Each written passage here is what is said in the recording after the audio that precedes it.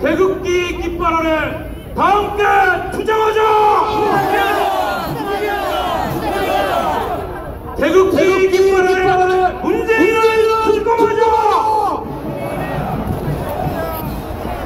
존경하는 항원동자 여러분, 이 앞에 우리 강우규 의사님의 동상이 있습니다. 이분이 1920년대 서대문 연구소에서 남긴 시가 있습니다. 한두대 서본이 봄바람이 휘감는구나. 내 몸을 있으니 나라가 없으니 내 어찌 회한이 없지 않으리. 여기 있는 우리 대한민국당 국민 여러분, 한국교 열사 같은 그런 의로운 마음으로 대한민국을 구기에 구하기 위해서 여기에 섰는데 다 같이 투쟁하자! 어제 저희 대한민국당 동지들이 문재인 좌파적 버스로 들어가 청와대 앞에 가서 기자회견을 했습니다. 엊그저께 썩어 빠진 자유한국당 분들이 그 앞에 가가지고 나경원 같은 나약한 기지휘자가 현수막에 뭐라고 썼어요? 문재인 대통령님 사과해 주세요. 유치원생 장난합니까 지금?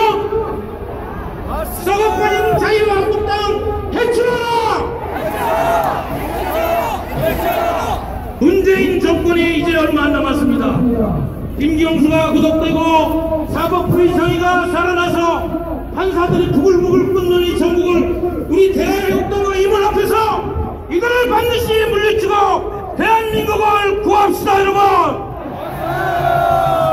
기자들이 하는 말이 있습니다. 내정 남적이다. 내가 하면 정의요. 남이 하면 적폐다. 적폐야말로 더불어민주당이 갖고 있는 적폐덩어리인데 어디다 대고 함부로 우리 국민들을 향해서 이 호소를 이야기하고 잘못된 말을 하는 것입니까? 더불어민주당 해체하라!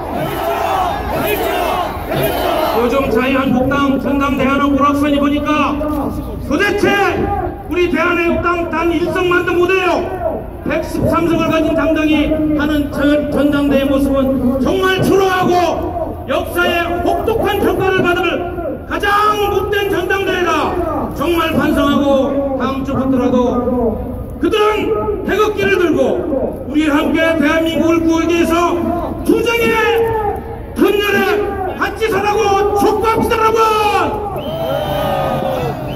특히 홍준표라는 그 사람 대- 당권에 도전하면서 태국에서 뭐 손석희한테 이상한 발언을 하고 그가 역사의 진재를 아직도 못 깨닫고 있어요.